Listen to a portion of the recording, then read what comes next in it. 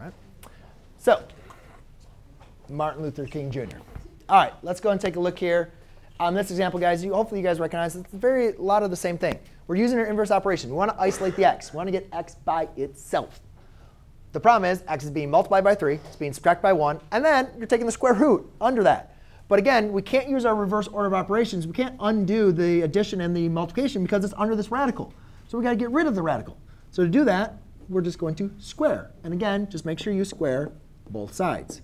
So in this case, we get y squared is equal to 3x minus 1. Now I can use my inverse operations, reverse order of operations, and so on and so forth.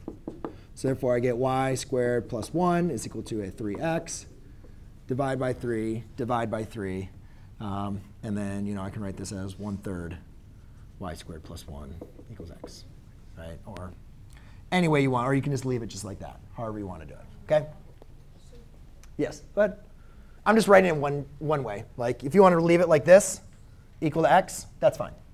I'm just saying like, hey, let's say you do this, and then that's the multiple choice answer. Just make sure you know that's the same as that. Yes? So you're not supposed, you're not supposed to put the square, you're not supposed to put the equation in parentheses, put the square out of it, you're only supposed to put the square out of the y.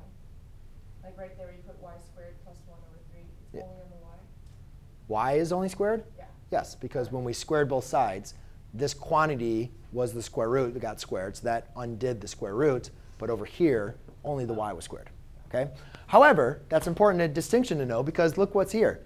We can't undo the squaring until we get rid of the 3, right? So if you need to undo the square root or any root, you want to isolate it. So we're going to divide by 3. So now we have y over 3 is equal to the square root of x minus 1. Now, to your point, when I square both sides, I have a y over 3 that's going to be squared, which is going to produce a y squared over 9 is equal to the quantity x minus 1. And then I add the 1 to both sides. Plus 1 is equal to an x. Yes? So you would want us to simplify the square instead of just leaving it as y over 3 squared plus 1 equals x? I mean, it depends on the depends on the question, what I'm asking. If I say to like simplify, then obviously that would I would expect you to multiply that you know out. Um, but let's go and take a look at this one. But again, to be honest with you, it, it really kind of depends on what we're using the. It depends on how the question be asked. Um, because really, yeah, there really is no difference if you wrote it like this. There's nothing wrong with that, right? It's just not. You just didn't distribute the square. Like that's to me, that would still be correct as that, right? Unless I'm asking for something particular. Now this one kind of brings in the same example. Like one right? So before you can square root, you got to square, or I'm sorry, you got to get the square root isolated. So I add the 1 to the other side. Now we square this. Now, for the sake of time, I'm not going to square that out.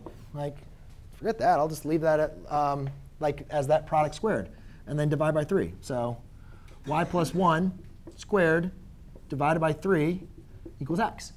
However, could I multiply it out, or if, I ask for something in expanded form? right? If I said, hey, provide your answer as a quadratic, or, or maybe this isn't the answer choice. Maybe the answer choice looks like this.